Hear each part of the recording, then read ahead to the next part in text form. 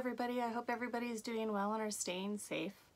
Um, recently, if you follow me on Instagram or Facebook, you will have noticed that I rewatched the movie Dr. Giggles. I think it came out in 1998. I'm not sure. Um, you could check on that. But uh, it's a movie that I like, and one of the reasons why I like it, even though it's technically not very good, but you know, it's entertaining enough. But when I was a kid, I liked it a lot. Um, one of the reasons being is I thought it was really cool that they filmed a horror movie in my hometown, which is Portland, Oregon. So it's kind of funny watching it now, looking back on it and, you know, noticing like, oh, that's a high school that I went to, or, you know, it's kind of cool to see. But anyway, while I was watching it, I was wondering if there was merchandise from that movie. And one of the things that I found I did not know existed, so I ordered it.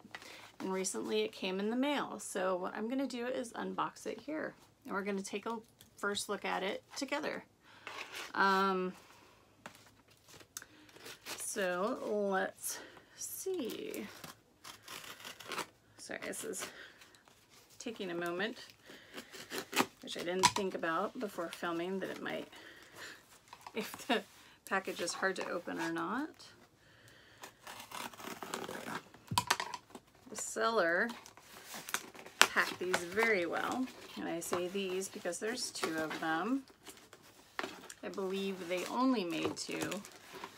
Um, yeah, it says one of two, so two of two. So yeah, I found some Dr. Giggles comic books. So I know that some of you collectors out there probably wouldn't open the packaging, but I'm going to. Um, looks like one of them is actually individually packaged, and it's funny because on the package it has $3, um, which that's not what I paid for it, but that's okay. so this is the first one. It's got some cool artwork in there. And then two of two. And these are made by Dark Horse Comics, which is kind of funny because Dark Horse Comics is also located in Portland, Oregon. And so this is the second one.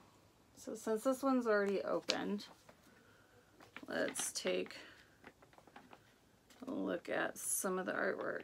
Oh, it looks pretty cool. I'm definitely going to be reading these, especially now since we're in quarantine. Be something to do. Yeah. So that's cool. I'm excited about that. Um, okay, good. So yeah, there is some blood in it, so that's awesome. I don't know how you could have a Dr. Giggles comic book without blood. Let's open up the other one. Yeah, funny thing about Dark Horse Comics, um, I'm not sure exactly where they're located now, but they used to be, I know that their building was actually pretty close to a tattoo shop I used to work at a long time ago, and I remember I used to have to take the bus out there all the time, and one time I was taking my daughter out there with me, and in between the bus transfers, that's where we we would have to wait would be right next to the Dark Horse Comics building. And uh, in the windows, they had a, what I guess would be a life-size um, alien and predator in there. So it was kind of cool. And one time my daughter and I were walking by it and she saw the alien and she's like, Mommy, look at that giant shrimp. she wasn't afraid of it because she thought it was a shrimp. She was pretty, pretty little. She was probably like seven or something. But yeah, it was pretty funny. But um, they have since moved buildings and now I'm not sure where they're located. But yeah, pretty cute. Let's see. Yeah, the first edition, yeah, like that. Picture looks pretty awesome.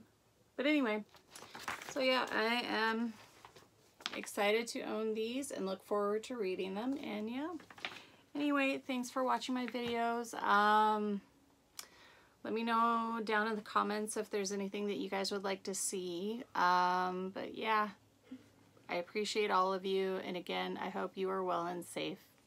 Until next time.